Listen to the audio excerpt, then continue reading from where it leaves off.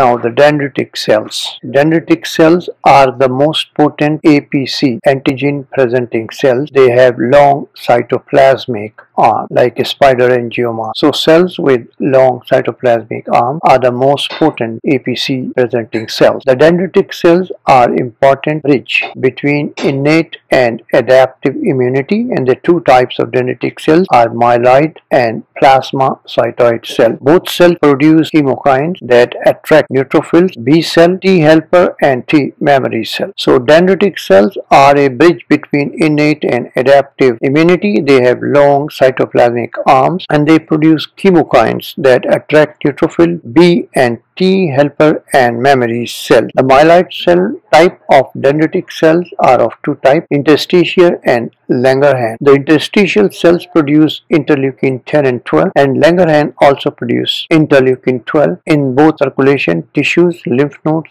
skin, epithelia and thymus. The other property of myeloid cell is that they can differentiate into monocyte macrophages and tissue specific dendritic cells. So myeloid cells are a type of dendritic cells which can differentiate into monocyte macrophages and tissue specific dendritic cells. Now the other type of the dendritic cell plasmacytoid cells. They have less antigen presenting cells APC and they look like plasma cells. The plasmacytoid cells are in the circulation and lymphoid organs and produce interleukin 1 and interferon alpha against viral infection. So interferon alpha has anti-tumor and antiviral they kill pathogen infected cells activate t cells to form killer t cells and activate nk cells of the innate immunity so plasmacytoid cells produce interferon alpha that, that kills anti-tumor antiviral cells kill pathogen infected cells and activate T cell to form killer cells and activate